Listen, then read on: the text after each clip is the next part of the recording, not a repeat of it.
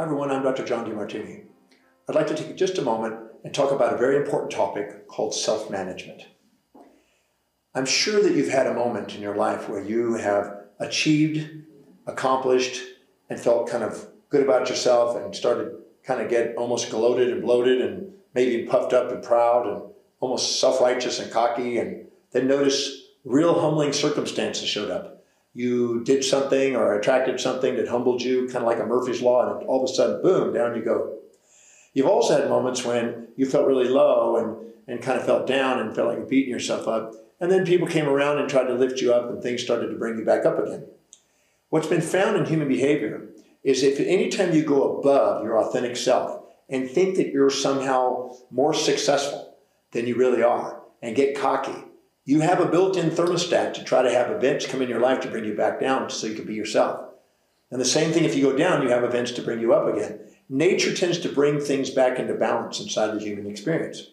So anytime you allow yourself to get addicted to being up, you attract events to bring you down. And anytime you're trying to, to you know, compensate for that going down, you attract support to get you back up again. I call it the resistance factors and assistance factors to make sure that we're authentic.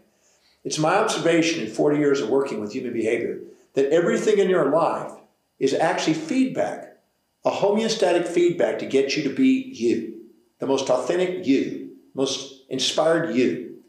And sometimes we get addicted to one side. We want the, the fame and we don't want the, the down. We want the up, but we don't want to have the fall. But the real truth is, those falling mechanisms are actually getting us back into the center. And when we know how to take the downs and actually use it as a feedback, we quit getting addicted to these ups. Now, you may be thinking, well, then, well, how am I going to have achievement in life? Well, I'd say it this way when you master your life, you learn how to master your own emotions and not take credit or blame, but keep focused on chief aim, the key that's the highest priority in your life.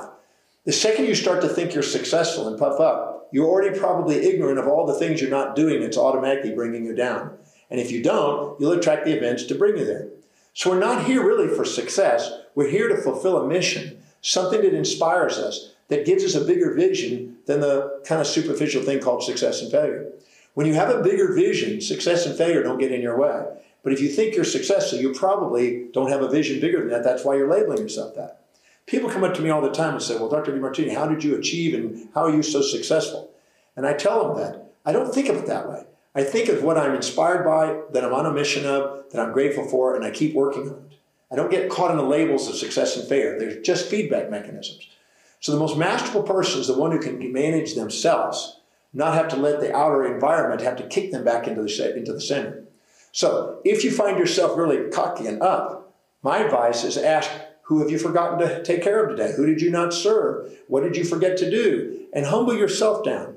And if all of a sudden you're feeling down, you ask, what did I accomplish? Who did I achieve? What did I make a difference in today? And learn to manage your own state so you don't get caught in these ups and downs and elation, depression, bipolar states. Because a person who's centered is a person who becomes a leader. There's a word called governmentus, one who can govern their own mind. Governing your mind means to take out the vast vicissitudes and all the volatilities of the mind and keep ourselves centered.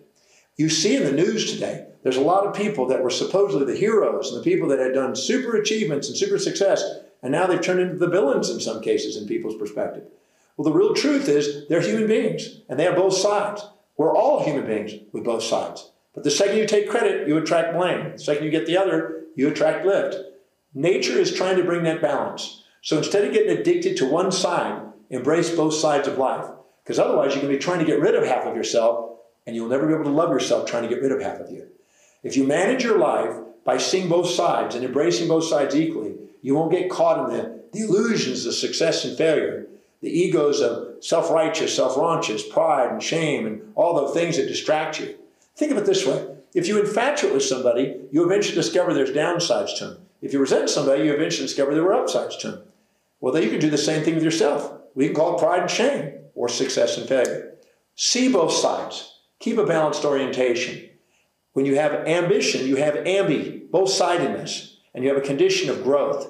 So keep your mind centered, self manage yourself, regulate those oscillations, keep focused on a bigger vision so you don't label yourself success or failure. You label yourself somebody on a mission of doing something you love. When you do, you'll have the greatest success, and you won't end up in the news with highs and lows.